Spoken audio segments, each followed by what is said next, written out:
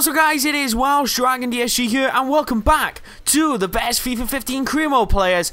And today we are looking at a goalkeeper but, but before I go ahead make sure you show your support by subscribing to me on YouTube and don't forget to follow me on Twitter at Welsh Dragon DSG and make sure you drop that video like and suggest some players who I should do next while you're in the comments below. As I just mentioned we are doing goalkeeper and the goalkeeper we're doing is Andre Moreira I believe is how you pronounce it plays for uh, Moreirense FC. The, that will come up on the screen for you guys, so you don't have to but watch me butcher it. Um, well, good thing with this guy, before you even get on to potential, that he has one year left on his contract, and in 2015, so you can sign him straight away for very, very cheap.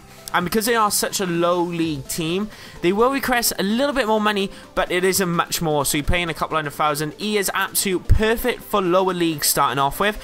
Let's crack on into his rating. He is 64 rated and has a potential of 80. So quite a hefty growth of 16 there.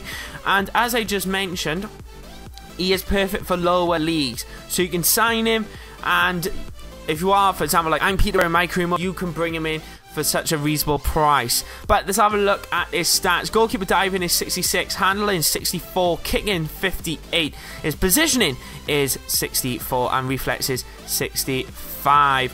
Um, but his standout stat is, of course, diving at 66. But if you guys are interested with his weak foot ability and stuff, he is uh, two star skills and uh, what do you call it? Um, one, one star skill and then two star weak foot. But his international rep is quite low.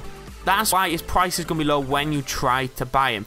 I use him in my career mode, and one thing that actually stood out for me within a career mode, I did a couple games with him, is the fact that he's very good at positioning. Even though his positioning is 64 rate, he can like get in right place at right time. Might not be able to catch it, but he will power it away very well. But anyway, guys, that is the end of this. That is another I'm trend. Who should we do next? I'm time to do another goalkeeper, maybe a little goalkeeper trend. We're going on now. Let me know in the comments below who I should consider doing. Maybe Nardi, another player, something like that. But uh, guys, I want to say thanks for your support. Make sure you drop the video like.